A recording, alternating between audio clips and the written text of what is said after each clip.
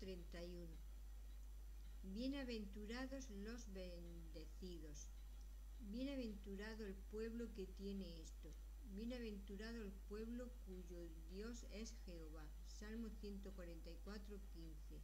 Lectura adicional recomendada Mateo 5, 1 al 12.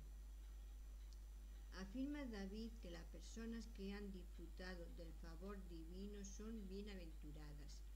Si alguien pretende objetar que sólo el espíritu más zafio y terrenal podría cifrar la bienaventuranza humana en términos de dones materiales, le responderé que debemos leer las dos cosas relacionadas, que son bienaventurados quienes reconocen el favor de Dios en la abundancia que disfrutan esas bendiciones transitorias les reportan una felicidad que los convence del cuidado de su Padre y les induce a aspirar a la verdadera herencia de las bendiciones eternas. No tiene nada de impropio calificar de bienaventurados a aquellos a quienes Dios bendice en este mundo, siempre y cuando no pasen por alto las ventajas de las misericordias de Dios que de ellas hacen o que se olviden de su autor por pereza o negligencia. La bondadosa providencia de Dios a no permitir que carezcamos de las cosas básicas para la vida es, sin duda alguna, una muestra extraordinaria de su maravilloso amor.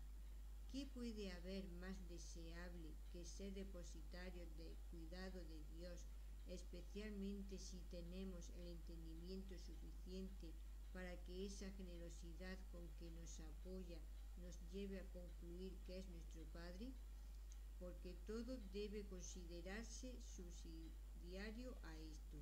Antes nos convendría perecer de inanición que tener una mera satisfacción primaria que nos haga olvidar que solo son Bienaventurados aquellos a los que Dios elige como su pueblo. Al darnos comida y bebida, Dios permite que disfrutemos cierta felicidad.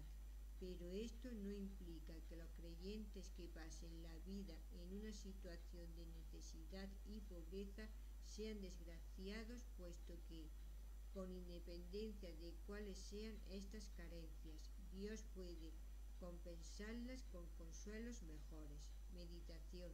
Cuando Dios nos bendice satisfaciendo nuestras necesidades materiales como alimento, bebida, techo y trabajo, podemos sentirnos felices.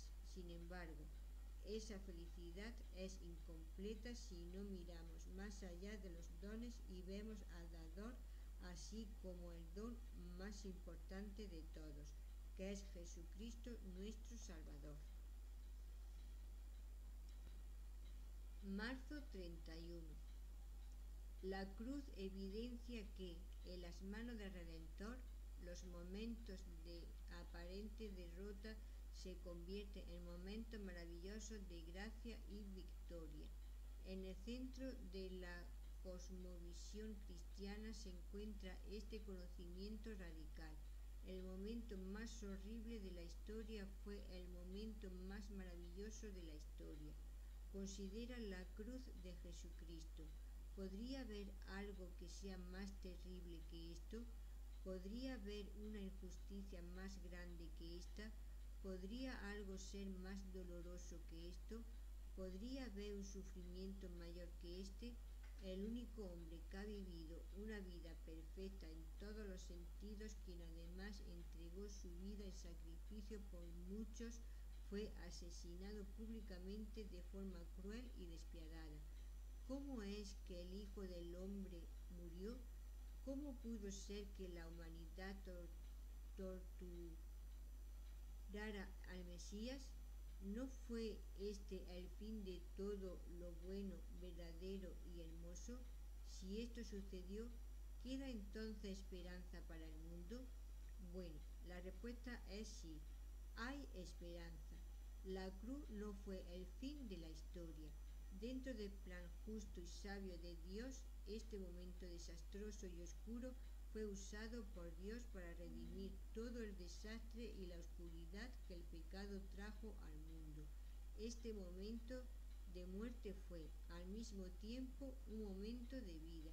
Este momento desesperanzador fue el momento que introdujo la esperanza eterna. Este momento de terrible injusticia fue un momento de maravillosa gracia.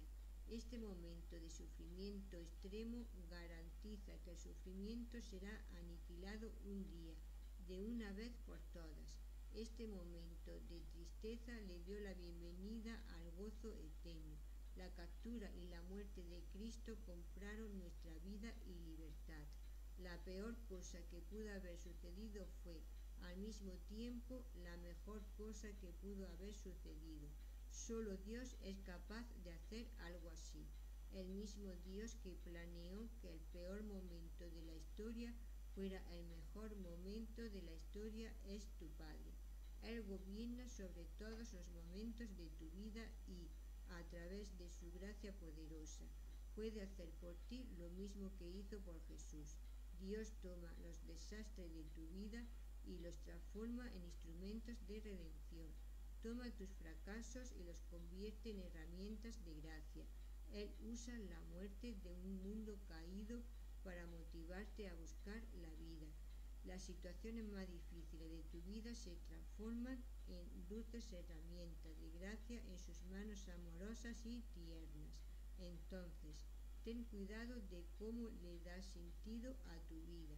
Lo que parece un desastre tal vez sea un medio de gracia. Lo que parece el final puede ser el principio. Lo que parece caótico puede ser un instrumento de Dios para darte esperanza real y verdadera. Tu Padre está comprometido a tomar los desastres de tu vida para transformarlos en algo que es muy, muy bueno para profundizar y ser alentado, Hechos 2, 14 al 36.